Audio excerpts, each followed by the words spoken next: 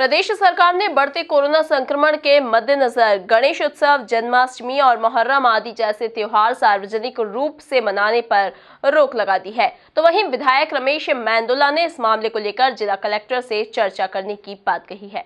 देखिए रिपोर्ट। प्रदेश में कोविड संक्रमण को देखते हुए आगामी गणेश उत्सव, मोहर्रम, जन्माष्टमी आदि त्योहार सार्वजनिक रूप से नहीं मनाए जा सकेंगे। गणेश प्रतिमाएँ सार्वजनिक रूप से स्थापित नहीं की जा सकेंगी तथा जन्माष्टमी एवं मोहर्रम पर जुलूस व ताजिए नहीं निकाले जा सकेंगे। प्रदेश सरकार ने एडवाइजरी जारी की है। त्योहार घर में ही मनाएँ, लेकिन त्योहारों, उत्सवों की नगरी में आवाज़ उठने लगी है कि पांडालों में केवल पुजारी को पूजा अर्चना करने की छूट मिले। यही नहीं, शहर में निकलने वाली प्रसिद्ध झांकियों को भी सांकेतिक रूप से निकलने की अनुमति मिले। कि चाहे मुहर्रम हो, जन्माष्टमी हो, गणेश उत्सव हो, किसी प्रकार का भी धार्मिक त्यौहार, जुलूस, ये गैदरिंग नहीं हो सकती है। इसी में अपनी जो यात्राएँ निकलती हैं, वो भी नहीं हो सकती हैं। कई जगह रथ यात्रा टाइप की निकलती है इस तरह की चीज़ें निकलती हैं।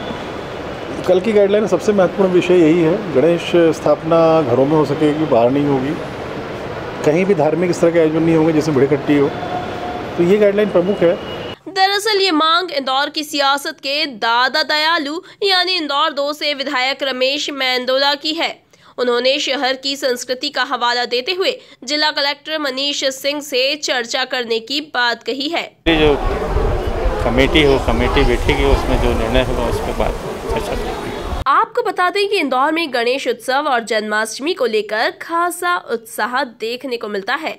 तो वहीं शहर में अनंत चतुर्दशी पर निकलने वाली झांकियों की दशकों पुरानी परंपरा है। लिहाजा विधायक रमेश मेंदुला ने अपनी ही सरकार के आदेश पर एक बार फिर पुनर्विचार करने की बात कही है।